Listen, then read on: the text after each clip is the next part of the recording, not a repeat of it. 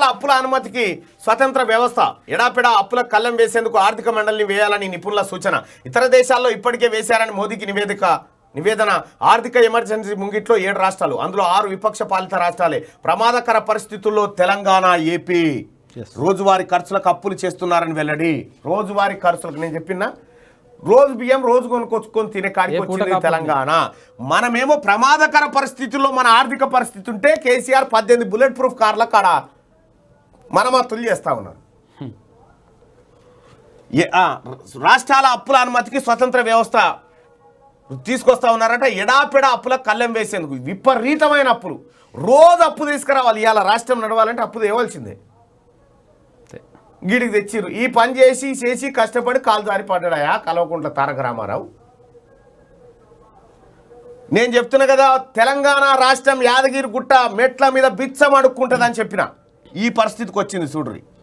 రాష్ట్రాలు ఎడాపెడా అప్పులు చేస్తూ ఆర్థిక వ్యవస్థను కుప్పకూలుస్తున్న ఆ, రీత్యా దేశంలోని వివిధ రాష్ట్రాల్లో ఆర్థిక ఎమర్జెన్సీ విధించాల్సిన పరిస్థితులు రావచ్చునని పలువురు ఆర్థికవేత్తలు కేంద్రాన్ని హెచ్చరించారు. పరిస్థితిని అదుపులోకి తీసుకురావాలంటే ఆర్థిక మండలిని వేయాలని వారు ప్రధానమంత్రి నరేంద్ర మోడీకి సూచించినట్టుగా తెలుస్తా ఉంది.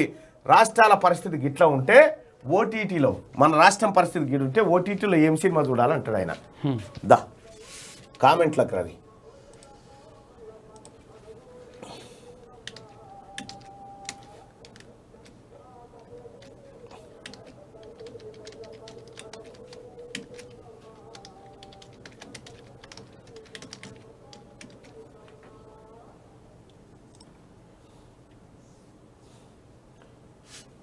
మీరు మీరే చేసుకోరా కామెంటు. ఎందుకంటే మేము చేయము.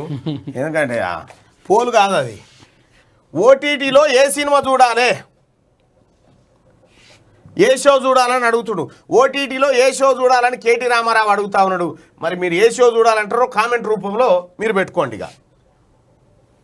రాష్ట్రం ఏమో అప్పుల పరిస్థితి గీడికి వస్తే సర్వనాశనం చేసిన ప్రజలారా మీరు గుర్తుపెట్టుకోండి. ఇంకొకసారి టీఆర్ఎస్ పార్టీ అధికారంలోకి వస్తే ఇక్కడ మనుషులు బ్రతకరు. ఇది ఎడారి అవుతుంది మీరు గుర్తుపెట్టుకోరు. ఎడారి అవుతుంది రజాకార్ల కంటే రజాకార్ల కాలంలో జనం ఎట్లా బతికిరో ఆ పరిస్థితి కంటే ఇంకా దిగ దిగజారిపోతుంది. కేసీఆర్ అనేటువంటి వ్యక్తి ప్రతి వ్యవస్థను సర్వనాశనం చేసిండు. ప్రజలారా జాగ్రత్తగా ఉండండి.